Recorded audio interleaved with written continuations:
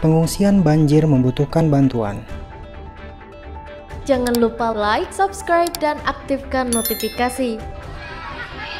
Ratusan warga korban banjir di Jalan Mendawai dan Arut Bawah, Kota Palangkaraya, Kalimantan Tengah mengungsi ke tenda darurat yang didirikan oleh pemerintah Rabu 17 November 2021.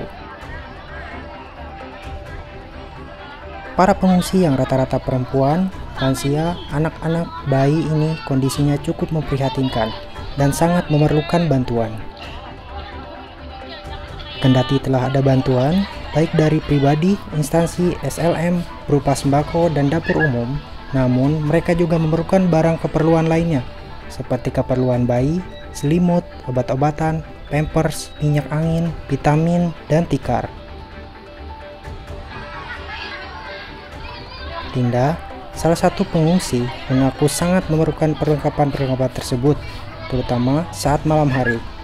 Karena kalau malam, udara di pengungsian terasa sangat dingin, sedangkan alas tidur hanya seadanya.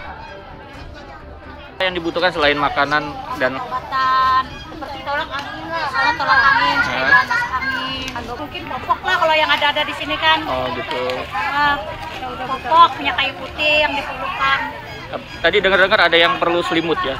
Iya pak iya iya iya iya ya. Oh. selimut kan nggak bisa dibawa Selimut dan tikar. ya tikar tikar tikar boleh kalau memang perlu Oh. tidur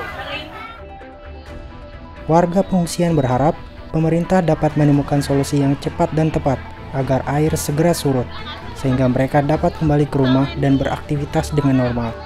Pasalnya, warga enggan mengungsi karena khawatir dengan barang-barang berharga yang ditinggal di rumah.